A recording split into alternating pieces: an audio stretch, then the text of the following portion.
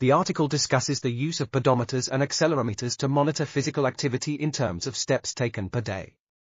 It highlights the emergence of various step-based versions of physical activity guidelines, but notes a discrepancy in the exact values being communicated. The author suggests that step-based recommendations should be consistent with existing evidence-based public health guidelines that emphasize time spent in moderate to vigorous physical activity, MVPA. The article provides normative data indicating that healthy adults typically take between 4,000 and 18,000 steps per day, with 10,000 steps being a reasonable goal. It also notes that interventions have shown incremental increases of around 2,000 to 2,500 steps per day. The authors suggest that a cadence of 100 steps per minute is indicative of moderate intensity walking and can be used as a guiding value for daily recommendations.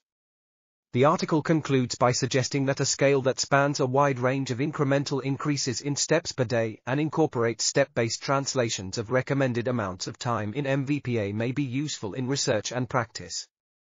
It emphasizes the importance of good reference data and evidence-based recommendations for users of objective monitoring instruments to design effective health messages, guide behavior change, and measure and track steps taken per day.